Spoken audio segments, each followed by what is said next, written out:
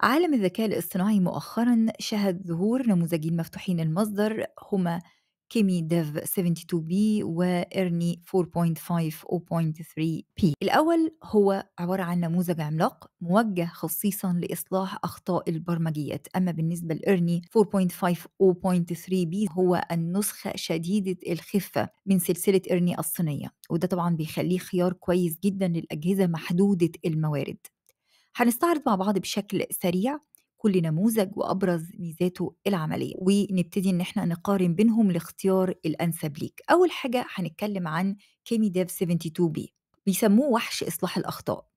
أنشئ Kimi Dev 72B على أساس Qwen 2.5 72B التابع ل Moonshot AI وخضع لتدريب إضافي بأسلوب التعلم المعزز القائم على الاختبار اللي هو ال RLTF حقق النموذج 60.4% على معيار SWE Bench Verified وهو أفضل رقم لنموذج مفتوح المصدر حتى تاريخ نشر هذه المقارنة متفوق على نماذج شهيرة زي Qwen Code 72B و DeepSeek Coder 33B بيوفر سياق بيوصل لحد 115 ألف token وده بيسمح بتحميل يعني مستودعات كبيرة دفعة واحدة. بيحتاج لبطاقة رسوميات لا تقل عن GB VRAM 24 أو عدة بطاقات مجمعة ويمكن تشغيل نسخة محولة GGUF وفي ناس كتير بتعمل الموضوع ده عبر LM Studio حالات الاستخدام هو إصلاح الأخطاء في المشاريع المتوسطة إلى الضخمة. تاني حاجة إعادة هيكلة الكود مع الحفاظ على نجاح الاختبارات. توليد كود جديد مستند إلى ملفات مشروعك الحالية والسياق بتاعه بيكون كامل. نيجي بقى لإيرني 4.5 0.3B زي ما انت شايف خفيف جدا. شركة بايدو أطلقت 10 إصدارات أحجامها بتتراوح ما بين P424 و P0.3 البنية MOE Mixture of Experts متعددة الوسائط. جميعها بتشترك في ترخيص أباتشي 2.0 وسياق يصل إلى 128 ألف توكن طبعا ده رقم لافت جدا بالنسبة لنموذج خفيف زي اللي بنتكلم عنه دلوقتي اللي هو 0.3B وزنه البالغ 300 مليون بارامترز بيعني إمكانية تشغيله على حاسوب محمول بمعالج قوي أو على بطاقة رسوميات اقتصادية. ورغم ضئالة حجمه لكن بيحتفظ بقدر جيد من فهم التعليمات العامة بشكل كبير.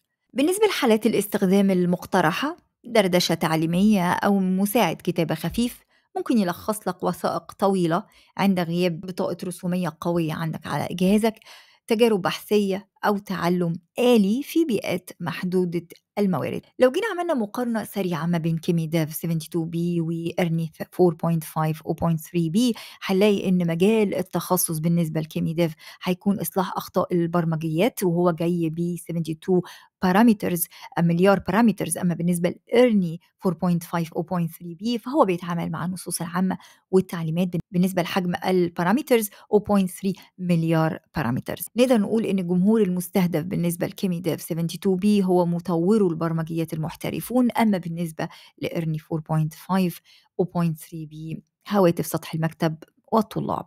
بالنسبة لكيمي سرعة الاستجابة عالية في المهام البرمجية أما بالنسبة لإرني خفيف الحجم متوسط في النصوص العامة.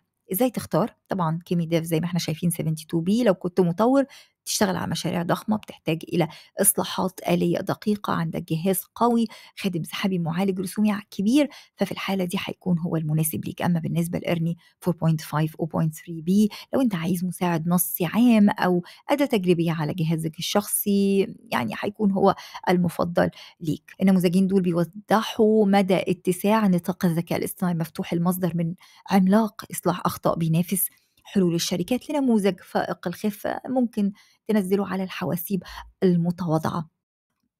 لو رحنا بشكل سريع على Hugging Face إن شاء الله أحط لك رابط في الوصف أسفل الفيديو الخاصة بالأحجام المختلفة لارني 4.5 هتلاقي في أحجام كتيرة ابتداء من الحجم الكبير 424 بي طبعا ده حجمه كبير جدا إلى الحجم الصغير تماما اللي هو 4.5 و.3 فبالتالي انت قدامك ده وقدامك ده وممكن تجرب الاثنين ولكن زي ما قلت لك ال 0.3 بي مناسب جدا للتعليمات العادية تقدر تنزله عندك على الجهاز وتستخدمه وهو هيكون مساعد ذكي فقط لا غير. أما بالنسبة للكبير الضخم ده ما اتكلمناش عنه النهارده ولكن أقدر أقول لك إن هو أكبر حجم اللي هو 424 أو 424B ده حجمه كبير صعب إن هو ينزل عندك على الجهاز. أما بالنسبة ل Kimi Dev 72B في interface من خلال Hugging Face تقدر إن أنت تجربه وهو مناسب لإصلاح الأخطاء البرمجية. فلو أنت مبرمج وعايز تجربه قبل ما تنزله عندك على الجهاز تقدر تجرب من خلال ال interface الموجود على Hugging Face وهحطه لك في الرابط في الوصف أسفل الفيديو. زي ما إحنا شايفين الذكاء الاصطناعي كل يوم فيه جديد. أتمنى تكونوا النهارده خدتوا فكرة عامة عن النموذجين اللي بتسمعوا عنهم هذه الأيام. هحط لكم الروابط الخاصة بالنموذجين لو عايزين تجربوهم. أشوفكم فيديو قادم بإذن الله تعالى على قناة InfoTech Free وزي ما بقول لك في نهاية كل فيديو ما تنساش تدعمنا بال like وال share وال comment. لو كنت متابعينا الأعزاء لو كنت بتشوفنا لأول مرة ما تنساش تعمل سبسكرايب للقناة وتفعل الجرس عشان يوصلك كل جديد. دمتم في رعاية الله. والسلام عليكم ورحمة الله وبركاته.